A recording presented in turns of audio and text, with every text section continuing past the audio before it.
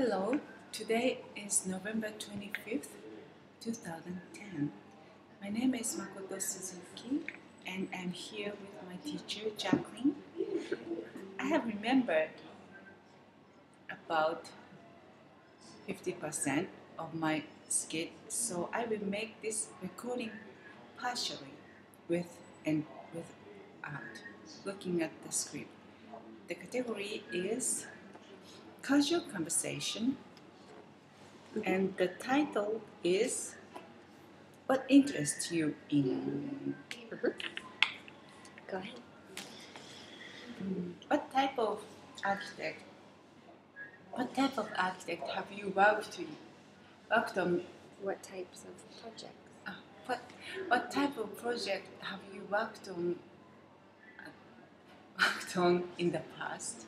I have never led my own design projects, but under the supervision of a principal architect, I have worked on both residential and commercial projects. So, who is your favorite architect that you have either worked worked with or would like to work with? It is difficult to choose one architect, but some of my most preferable include the Japanese female architects Makiko Tsukada and Jun Aoki. And what are your future goals that with your profession? And do you have a hopes to, of opening your own office one day?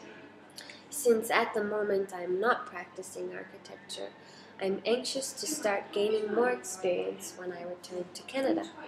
Of course, my ultimate goal is to open my own office. Good, okay. Switch.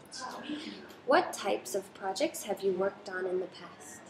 I have never led my own uh, design project, but under the supervision of principal of a principal architect, I, I have worked on both residential and commercial projects.